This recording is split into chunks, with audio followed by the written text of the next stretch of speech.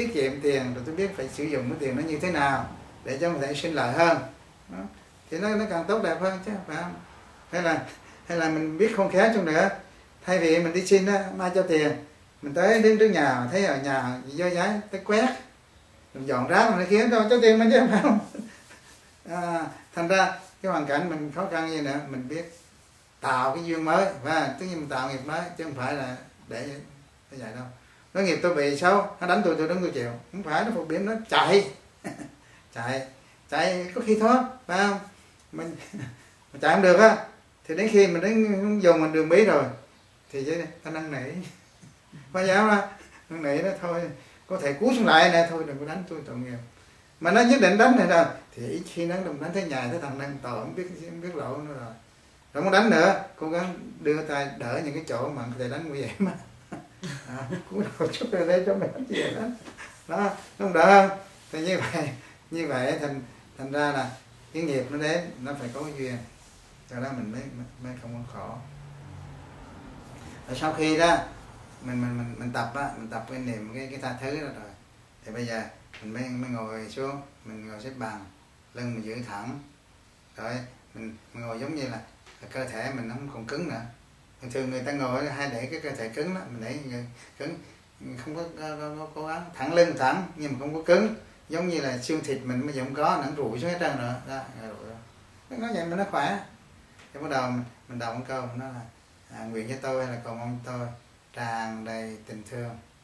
Khoan dung tha thứ có đầy đủ sức khỏe bình an hạnh phúc thanh tịnh tĩnh lặng. Đọc con ngắn vậy được. Đọc thơ cái mình nghĩ vậy mình tưởng tượng ra có một luồng nước thật là mát mẻ. Nó tràn đầy cơ thể mình. Nhiều người nói là luồng nước mát mẻ vậy, rồi mùa đông mà sao mình tính sao? Thôi. Chứ mà nói là, thôi mình tưởng một luồng nước này giống luồng nước cam lồ đó. Mùa lạnh á, thì nó biến thành ấm à mà nóng á, thì nó biến thành mát, giống như một luồng nước cam lồ. Nó la hết cả cơ thể mình, nó la hết tới đâu cơ thể mình mọi sự tắc nghẽn được mất hết. Bởi vì cái tâm từ đó nó cũng như một lần nước ừ, nó làm cho mình mát mẻ. Ừ. Rồi sau đó mình mới, mới dùng cái tâm từ nguyện này nguyện cho thầy tổ tôi. Mình tưởng tượng nó mấy vị thầy tổ mình.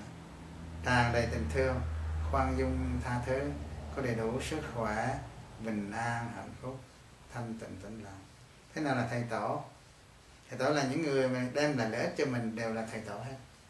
Ví dụ những đứa bé rất là nhỏ mà bữa nào đó mình giận nó khuyên thôi thôi bác đừng chặn quá. Yeah. ha giận chi thôi kệ bảo bảo qua đây. Cái đó cũng là đáng thầy tổ mình đó nó biết khuyên mình.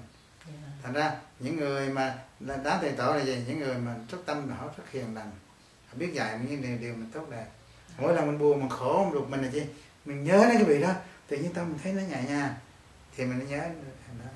Không có mình cũng nhớ hình ảnh đức phật. Ừ. thêm tập mình tập như vậy có nhiều người tự nhiên mình nhớ đến người đó thì mình thấy nó, nó nhẹ nhàng lắm. Cũng như có nhiều người là là là, là à, ví dụ mình à, mẹ mình sắp chết thì à, mình nói phải phải nói gì hai tới gặp mẹ mình đây? Thì gì, hai mình tới đó thì mẹ mình gặp đó, thì rất là vui vẻ mà mình thế đó. Rồi còn nếu mà mình mình sống mình cái xấu thế thì sao? Mà đến khi mà mà gần chết mình muốn vô thăm bà đó không con cả nó cản cả nó mẹ mệt lắm bởi vì các bạn nhau nó đừng có cho gặp bà này cho gặp bà này đó. Mà mình mà mẹ mình chết trên mẹ mình đi địa ngục quá. Là mình vậy chẳng á. Thì như vậy là mình chưa tập có tâm từ. Mình tập làm sao có tâm từ?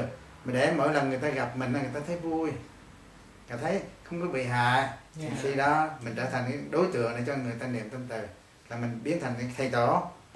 Chữ thầy tổ đó nghĩa là những người có gương lành trong sạch những người có gương tốt mà đá cho mình nương đấy mình đương giận á mình nhớ đến mấy người đó mình đỡ lắm đó.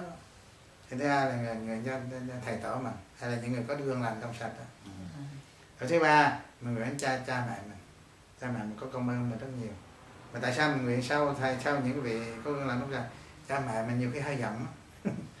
Mấy người kia là ít khi giận.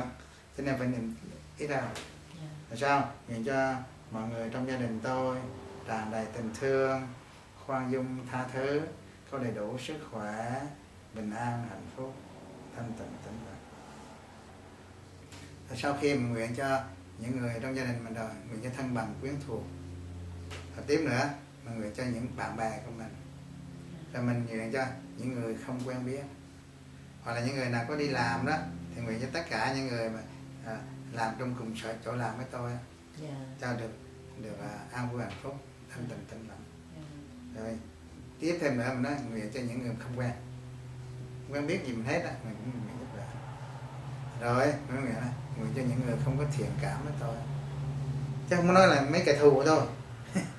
Có nhiều mình có không có thiện cảm mình đó thì những ghét mình nó cũng là kỳ lạ lắm. Ghét rất là ghét mình. Tại cái nghiệp kiếp trước á nhìn thấy mình nó ghét à kỳ lắm.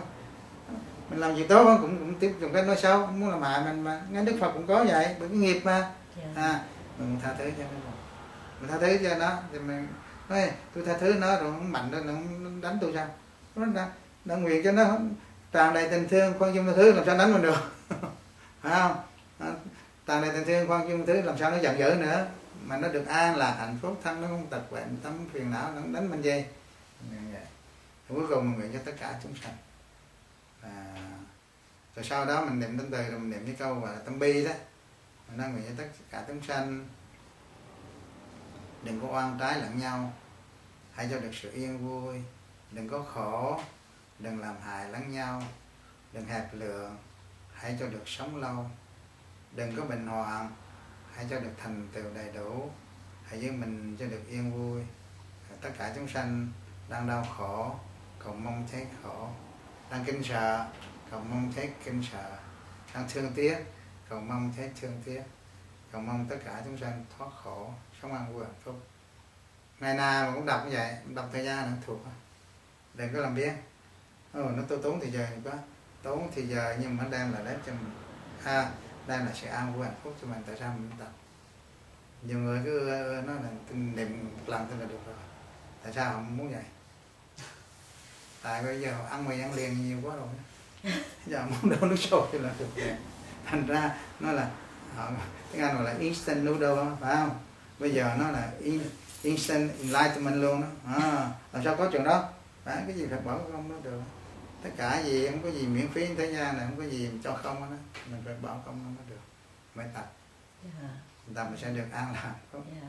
À, mình nhớ như là những kết quả đạt được đó nó lớn rất nhiều hơn cái sự bỏ công của mình.